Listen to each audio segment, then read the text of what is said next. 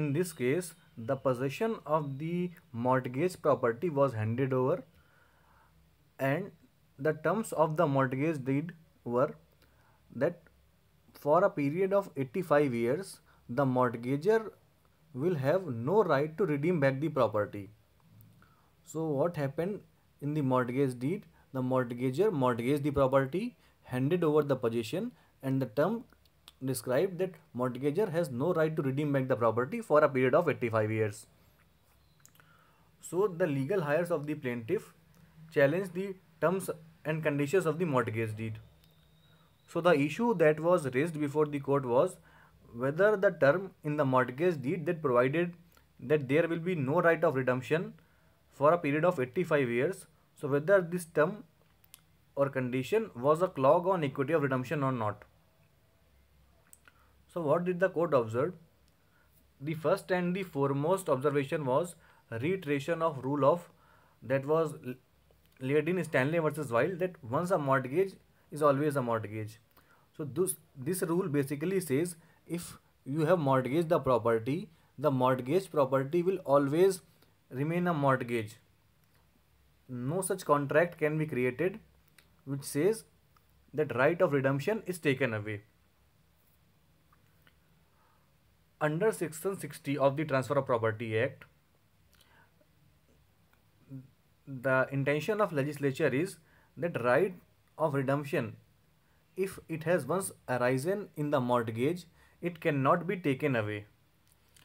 Section 60 empowers the court not only to relieve a mortgager but also to recognize where the right of redemption is restricted so under section 60, the right of redemption is a legal right. So if as per the terms of the mortgage deed, they have created any such right here in this case that for 85 years they cannot redeem.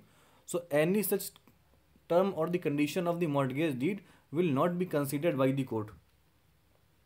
However, contrary to that, the court observed since both the parties that is the mortgager and the mortgagee were on an equal footing and the bargain of terms and conditions of the mortgage deed was a very fair bargain.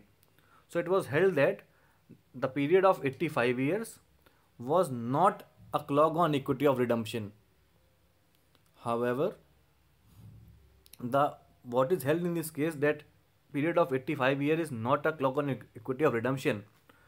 This is criticized and in further cases of mortgage you will see that such long term mortgages are not considered to be good. So if you are if you are writing this case in exam, you can criticize this case in the following manner. In like modern days, 85 years is definitely much more than lifetime and lifespan of many people. So if in such a case, such long duration is there, it will definitely constitute a clog on equity of redemption. And as per the rule of Stanley versus Wilde, once a mortgage is all will always remain a mortgage, hence if practically you have taken away the right to redeem, it has become a become a sale and not a mortgage.